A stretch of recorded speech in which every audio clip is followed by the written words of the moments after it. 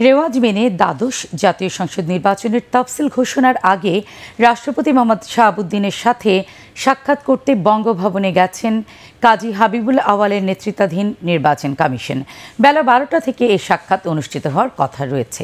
এ সময় আগামী জাতীয় সংসদ নির্বাচনের সার্বিক প্রস্তুতি রাষ্ট্রপতির কাছে তুলে ধরবে ইসি।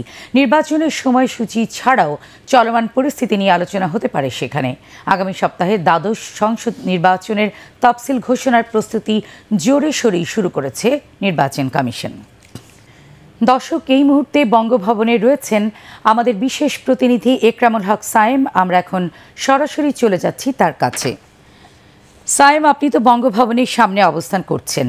নির্বাচন কমিশন এই সাক্ষাতের মাধ্যমে আসলে কি করতে চাইছে? আপনি কি তার কিছু জেনেছেন? তামান্না, এখন থেকে ঠিক দশ মিনিট আগে প্রধান নির্বাচন কমিশনার কাজী হাবিবুল আওয়াল, চার নির্বাচন কমিশনার এবং নির্বাচন কমিশন সচিব ও ঊর্ধ্বতন কয়েকজন ইসির কর্মকর্তা তারা বঙ্গভবনে প্রবেশ করেছেন এবং এরই মধ্যে হয়তো রাষ্ট্রপতির সাথে নির্ধারিত যে বৈঠক সেই বৈঠকটি হয়তো চলছে শুরু হয়ে গেছে।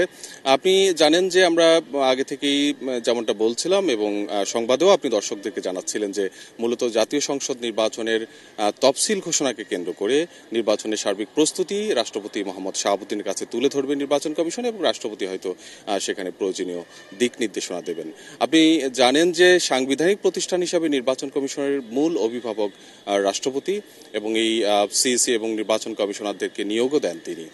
সেই হিসাবে যে কোনো বিষয়ে তারা রাষ্ট্রপতি ধারস্থ হন এবং রেওয়াজ অনুযায়ী যে কোনো জাতীয় সংসদ নির্বাচনের আগেই নির্বাচন কমিশনের পক্ষ থেকে সিএসি সহ নির্বাচন কমিশনাররা রাষ্ট্রপতির সাথে দেখা করেন এবং দেখা করে নির্বাচনের সার্বিক প্রস্তুতি তারা তুলে ধরেন এবং আজকেও ঠিক তেমনটাই হচ্ছে আপনি জানেন এই কাজী হাবুল আওয়াল কমিশন দায়িত্ব নেওয়ার পর তারা নির্বাচনী একটি রোড ম্যাপ তৈরি করে এবং সেই রোড ম্যাপ অনুযায়ী এখন একেবারে তফসিল ঘোষণার ধারপ্রান্তে চলে এসেছে।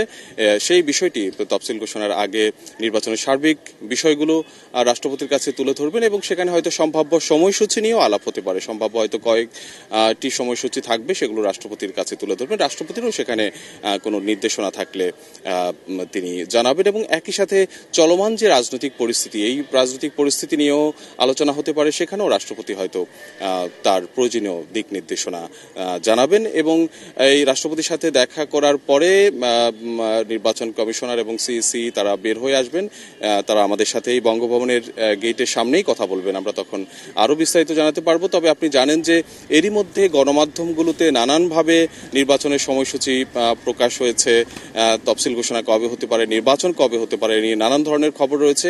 আমাদের কাছে যে তথ্য রয়েছে তাতে আগামী বুধ অথবা বৃহস্পতি প্রতিবার তফসিল ঘোষণা হতে পারে এবং একই সাথে এই দ্বাদশ জাতীয় সংসদের নির্বাচন হতে পারে। জানুয়ারির হয়তো প্রথম সপ্তাহের শেষ দিকে অর্থাৎ ছয় সাত তারিখের দিকে নির্বাচনটি অনুষ্ঠিত হতে পারে। আমরা যদিও আজকে এই সময়সূচি চূড়ান্ত হবে না কিন্তু আমরা হয়তো একটি ধারণা পেতে পারব। সেই ধারণা হয়তো আপনাদেরকে পরবর্তীতে জানাতে পারব। তামান্না। সাইম আপনাকে ধন্যবাদ।